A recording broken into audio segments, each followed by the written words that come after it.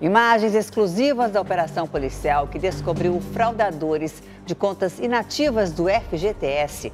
Pelo menos 30 pessoas foram presas nos estados do Rio e de São Paulo neste fim de semana. Os golpistas usavam armadilhas virtuais para roubar os dados dos correntistas e foram presos em flagrante na hora de sacar o dinheiro e a nossa equipe acompanhou tudo. Sete e meia da manhã, sede da Polícia Federal no Rio. Essas imagens são exclusivas. Mostram 160 agentes se preparando para uma operação especial. Daqui, eles foram deslocados para mais de 60 agências da Caixa Econômica Federal.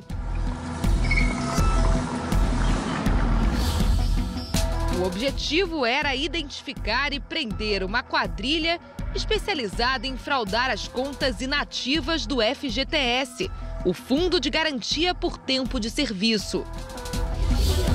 Todas as agências da Caixa Econômica do Rio estavam sendo monitoradas desde as primeiras horas da manhã. Eles querem sacar antes que o próprio dono do dinheiro saque, né? A polícia acompanhava a ação dos bandidos nesta central, localizada em uma agência no centro do Rio. Daqui é possível controlar, através de câmeras de segurança, tudo o que acontece nas outras agências do Estado. A primeira prisão aconteceu um minuto depois da abertura das agências. Foi em Deodoro, na zona oeste do Rio. Eram 8 horas e um minuto da manhã de sábado, quando este homem tentava fazer um saque. Agentes federais já estavam prontos para fazer o flagrante e a prisão. Em outro ponto da cidade, nossa equipe acompanhou também com exclusividade a prisão de mais um integrante da quadrilha. Dessa vez, um angolano. Olha só, nesse momento, Polícia Federal, agentes descaracterizados, entrando aqui na agência da Caixa Econômica Federal. Esse homem estava fazendo o saque do FGTS, ele já estava sendo monitorado pela polícia. E nesse momento os agentes estão revistando ele. Ele acabou de realizar esse saque aqui numa agência da Caixa no centro da cidade do Rio. Você sacou quanto? Sacou em nome de alguém? O flagrante aconteceu aqui nesta agência, onde só as máquinas de autoatendimento estão funcionando. Ou seja, só é possível sacar valores até 3 mil reais. A agência está completamente vazia e o movimento foi bem fraco durante todo o dia. O criminoso achou que assim não chamaria a atenção da polícia.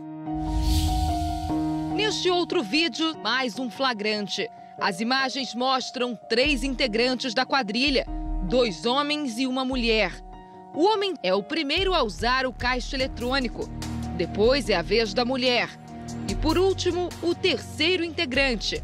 Um homem de boné vermelho aparece fazendo um saque. Os três foram presos na saída da agência.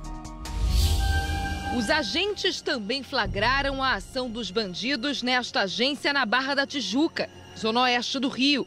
Sem saber que estava sendo monitorado, o criminoso leva cerca de 25 minutos para fazer os saques. Outro flagrante foi registrado nesta agência dentro de um shopping da Zona Sul. Este homem de boné preto e camisa azul é preso depois de usar o caixa eletrônico.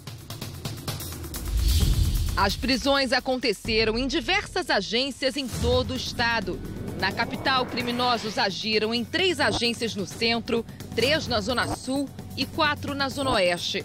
Os bandidos ainda aplicaram o golpe nas cidades de Nova Iguaçu, São João de Meriti, Belfor Roxo e Duque de Caxias, na Baixada Fluminense, e São Gonçalo, na região metropolitana. Antes de sacar o dinheiro, a quadrilha usava a internet para conseguir roubar os dados dos clientes. Os criminosos escolhem a vítima pelo computador. Tudo começa com um link divulgado na internet, onde é oferecido um serviço de consulta do FGTS, para quem quer saber se tem direito ou não a sacar o dinheiro. O link leva a pessoa até uma página igual à oficial da Caixa Econômica, mas se trata de uma página clonada. Para prosseguir com a consulta, a pessoa é obrigada a fornecer vários dados pessoais. E aí já caiu no golpe.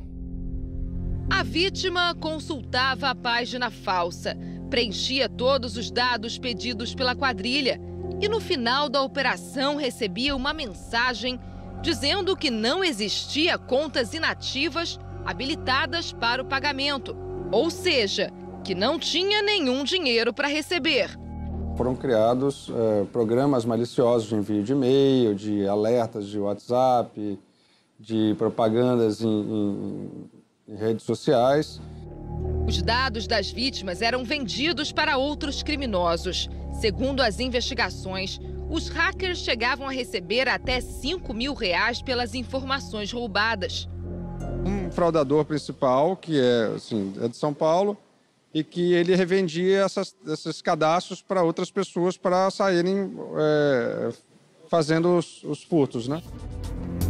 Com o nome da vítima, CPF, número do PIS e a senha do cartão cidadão, os golpistas iam até um caixa eletrônico e faziam vários saques pequenos, de até R$ 1.500.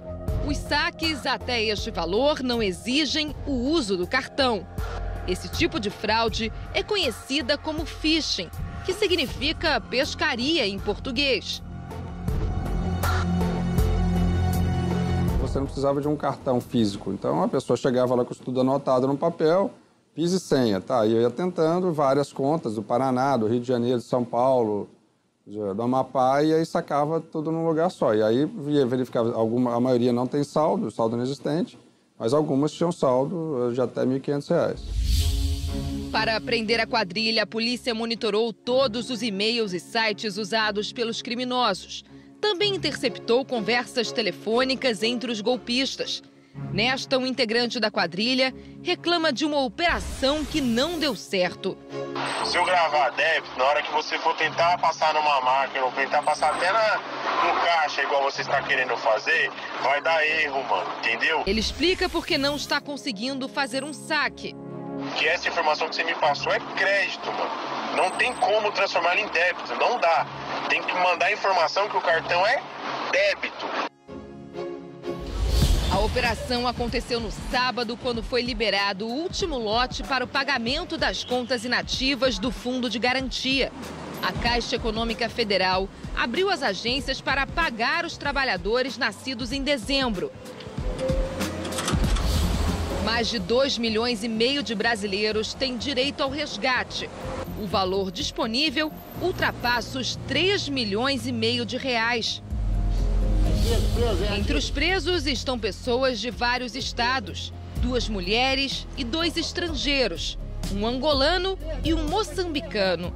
A polícia apreendeu com os bandidos 166 mil reais. Segundo a polícia, mais de 100 mil contas foram fraudadas em todo o país. No lote passado, o prejuízo foi de 4 milhões de reais. Agora, só no Rio, a quadrilha esperava lucrar cerca de um milhão de reais. A polícia ainda procura os integrantes da quadrilha que criaram a falsa página na internet e roubaram os dados pessoais dos trabalhadores. Os principais fraudadores são aqueles que montam o site de falsificação. De posse disso, eles não são os caras que vão sacar o dinheiro. Então, eles revendem a quantidade de cadastro. Então, eu vendo para você 500 cadastros, eu vendo para você 3 mil, alguns ali compraram 5 mil cadastros. Em nota, a Caixa Econômica Federal orienta os trabalhadores que foram vítimas da fraude a comparecer a uma das agências, munidos de um documento de identificação e carteira de trabalho. Esclarece que não envia e-mail sobre o saque de valores das contas inativas. Informa também que nenhum trabalhador será prejudicado. Todos que foram vítimas da fraude serão ressarcidos. Quem escapou do golpe comemorou o dinheiro extra. Ah, vou pagar as dívidas. Sabe uma coisa, eu vou lá ver se tem alguma coisa. Ganhei um presente de aniversário.